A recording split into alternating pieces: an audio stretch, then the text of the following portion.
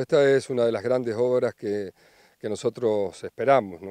El, nuevo gasoducto, lo hemos hablado muchas veces, nos permite eh, a más de 7.000 vecinos de nuestro departamento, familias de nuestro departamento, tener factibilidad de gas. Estamos trabajando en algunos proyectos industriales.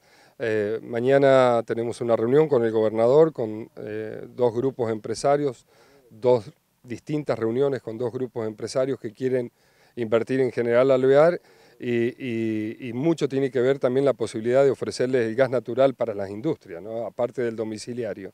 Así que estamos, hemos hecho ya tres reuniones eh, con el vecino intendente de San Rafael, con Omar Félix, estamos acompañando todo el proceso para intentar destrabar eh, el último tramo de la obra. Queda aproximadamente un 20% para culminar esa obra, toda la cañería ya está enterrada, digamos, está colocada, falta solamente algunas válvulas que tienen que ver con rebaje y provisionamiento de gas a distintas zonas eh, y eso es lo que compone el 20% final de, la obra.